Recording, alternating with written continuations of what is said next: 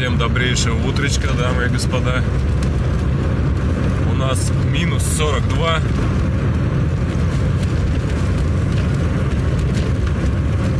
Небольшая туманность на дорогах. Еду на работу. Ну что, у меня жужа нормально. Автозапуск сработал. Стоит на минус 15 автозапуск. Нынче поставил сигнализацию. И, в общем, вот такие дела. Минус 42. Жужа едет как на тубаретке едешь, но так нормально, в принципе.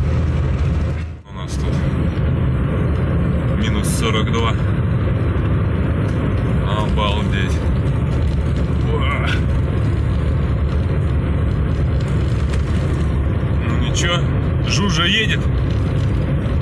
Подвеска как на спорткаре. Но Жужа рулит. Едем на работу. Попробуем проэкспериментировать.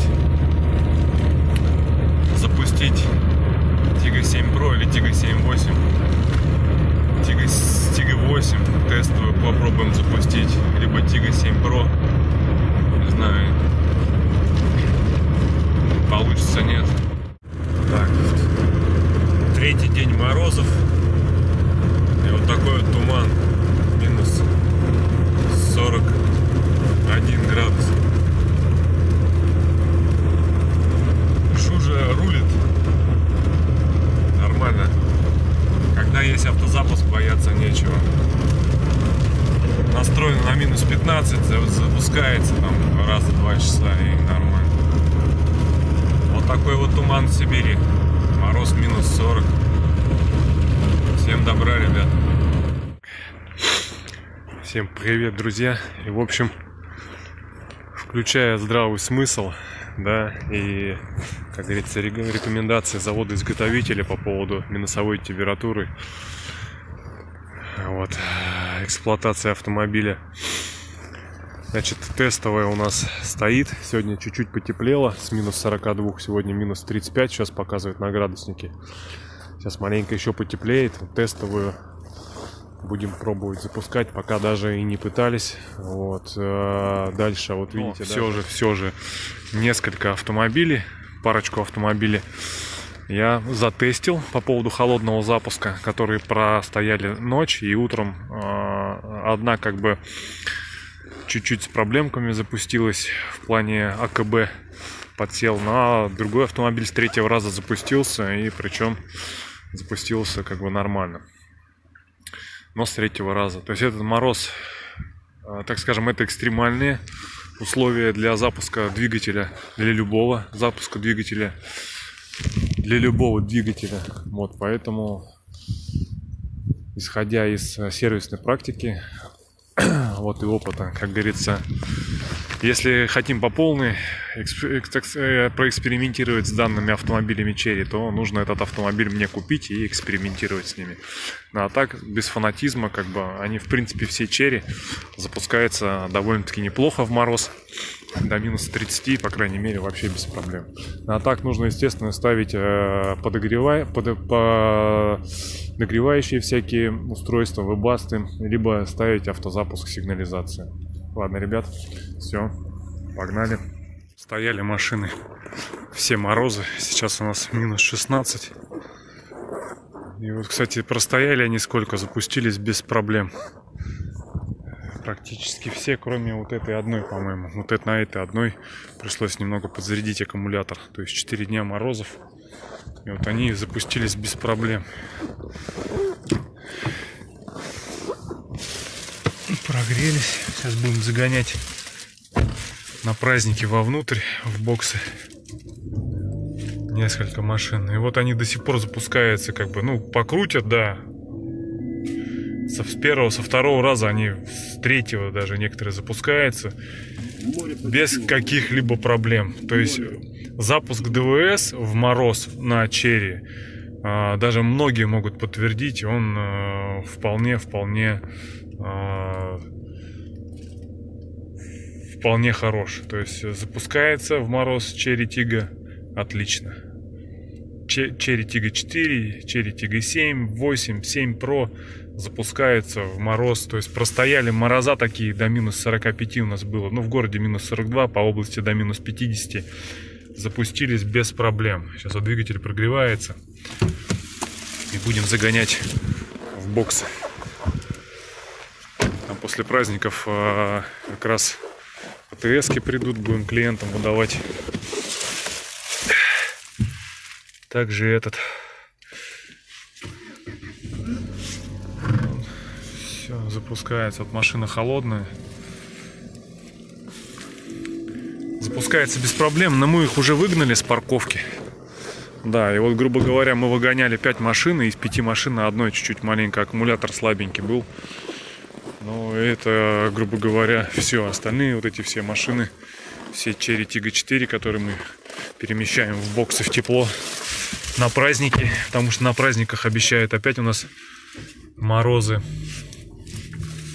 до минус 35.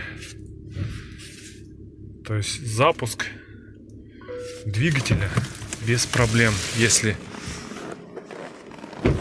аккумулятор в норме, то есть емкость в норме. Хотя автомобиль к нам приходит, мы все это дело проверяем. Вот на той Cherry Tiggo 4 чуть-чуть подсевший был аккумулятор. Мы его подзарядили, то есть подзарядили, э, все, и, и машина э, завелась, то есть Cherry Tiggo 4 запустилась. Перегоняем их в теплое место. Чуть-чуть потеплело, потому что мы не стали рисковать запускать их в минус 40. Это противоречит всем правилам эксплуатации. Они снежные. Две парочку я загнал. За празднички они оттают у нас, отогреются. Все как надо запуск после морозов прошел отлично. Всем, ребят. Короче, в мороз заводятся они хорошо, но не оставляйте автомобили долго, на сутки, там, я не знаю. Потому что в трубе глушителя скапливается конденсат, и его может вот так вот порвать. Видите, сколько воды там? А я тебе тогда привозил? В общем, из-за конденсата, скопленного в трубе, конденсат замерз, и порвало заднюю трубу. То есть у нас были морозы по области до минус 50. Короче, вот Тига 7 таким образом лопнула труба. Но, скорее всего, ее пытались завести, то есть э, пытались запустить. Так-то она не завелась бы, если труба была забита. Либо она, если работала бы, и труба замерзла, то она заглохла бы. Ну, хотя тут палка в конце эмульсии белый. Здесь это, в общем, открутил я крышку клапанную и наблюдаю здесь эмульсию. Ну вот за ночь, я думаю, такой эмульсии не будет в двигателе. Даже, наверное, за сутки. Блин. За несколько суток может быть эмульсия. Главное, чтобы еще масло не давануло. Масло вроде нигде не давануло. Да, вот под крышкой здесь эмульсия. Бывает еще такое, что перемерзает сапун. Сапун перемерзает и выдавливает сальники распредвала и коленвала. Так что всегда нужно машины, машине, если машина стоит на холоде и прогревается, всегда на ней нужно проехать, проехать пару раз за... То есть один раз часов 8 надо про проехать на ней, прогазовать ее, чтобы не было большого скопления конденсата ни в, э, в крышке клапанов, ни в, в глушителе. Так что вот смотрите, с глушителем что произошло. Мороз у нас ночью был по области до минус 50. В Томске фиксировали до минус 43, до минус 42. Вот смотрите, видите? Труба вся замерзла, то есть здесь полная вода, полная труба конденсата. Полная труба конденсата. Вот, нужно обязательно дать машине прогазовать. Запускаются черетига в мороз хорошо, но нужно за этим следить. То есть либо нужно автомобиль ставить на пригорочек чуть-чуть, чуть-чуть небольшой, чтобы конденсат стекал. Чтобы конденсат с трубы стекал. В общем. А так, конечно, прям жестко разорвало его. Прям по жесткому. В щепки. И как раз еще пострадал бампер. То есть именно нижняя часть бампера также пострадала. Представляете, сколько конденсата скопилось? Тут явно за, за ночь только не скопится.